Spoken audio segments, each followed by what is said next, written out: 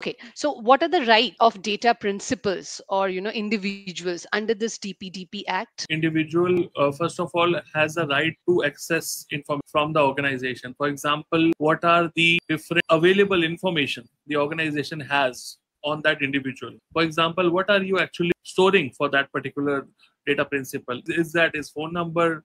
Is that his address? Is that his uh, email ID? Is that his uh, you know name?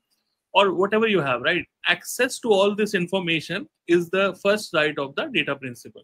This is called data subject request, DSR. In the data subject request, if somebody asks what type of access you have on me, you should respond back with what all you have for that person in the DSR. And as per the Data Protection Board of India, DPBI, this is defined that in a certain interval you have to respond. More guidelines are coming like we speak because more rules are yet to come. So this is the first right. Second right is right to correction and modification. If you want to amend your data, like let's say you change your home, you change your house, you change your phone number. So you have to get it corrected over there, right to correct. Third one is right to erase. I don't want you to work with my data.